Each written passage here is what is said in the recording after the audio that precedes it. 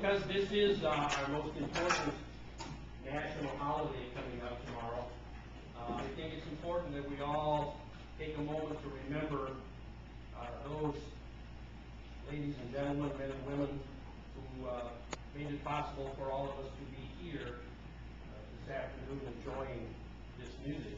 Uh, this next piece is, arranged by Bob Lowden and is called, is entitled Armed Forces Salute and it includes the service tunes of uh, the Army, the Air, uh, Coast Guard, the United States Marine Corps, the U.S. Air Force, and the United States Navy. And it's uh, my custom to ask anyone in the audience who uh, has served or perhaps is currently serving in any branch of the armed forces to please stand when your service march is presented.